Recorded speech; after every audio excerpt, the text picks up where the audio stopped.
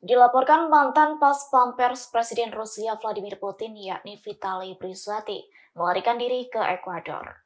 Lantas kepergiannya dari Rusia itu Vitaly Brizati membongkar semua tabiat Vladimir Putin. Dilansir dari tribunnews.com, Vitaly Brizati menyebut Vladimir Putin sangat paranoid terhadap pengawalnya sendiri.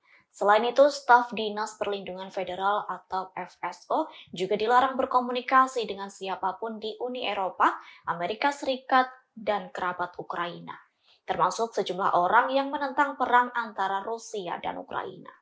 Bahkan apabila rekannya merespons baik postingan pro-Ukraina di Instagram, Putin akan menyelidiki secara rinci.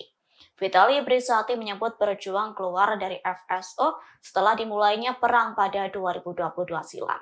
Namun kala itu Vitali Brisati mendapatkan informasi akan dikirim ke Ukraina apabila meninggalkan dinasnya. Terkini pihaknya menyebut sosok Vladimir Putin sebagai penjahat perang yang sesungguhnya. Seperti diketahui, Brisati merupakan personel kedua FSO yang melarikan diri ke luar negeri. Bahkan pihaknya merupakan sosok yang berani mengkritik Putin atas invasi Rusia ke Ukraina. Terima kasih sudah nonton. Jangan lupa like, subscribe, dan share ya.